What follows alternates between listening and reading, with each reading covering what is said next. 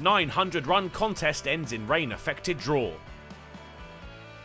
It's been a bit of a run fest at the Cooper Associates County Ground. Leicestershire looked likely to collapse, but when Somerset had them on the ropes, they responded. And some. Swindells and Barnes unbeaten on new career best scores of 119 and 54 respectively, their side now just 71 behind.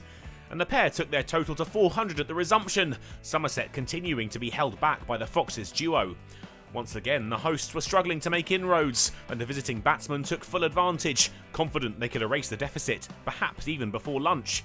The approach took Swindells to 150, sealed when Aldridge was turned into the leg side for a single. The Foxes now cruising towards 450. That came with another Swindells boundary, his 21st of the innings so far, and his 23rd saw them eclipse Somerset's total. And then the 8th wicket pair's partnership was worth 200 shortly before the interval. It was a remarkable achievement after coming in at 272 for 7. They were 14 ahead at the break, 475 for 7 at lunch. What a turnaround from the Foxes.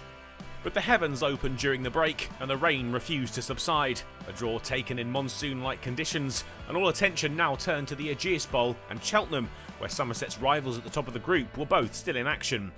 For now, though, the hosts are in pole position with a margin of 25 points. They'll hope they can solidify that when they travel to South London to take on Surrey. Leicestershire, meanwhile, sign off the group stage against struggling Middlesex at the Merchant Taylors' School, with a lot still to play for.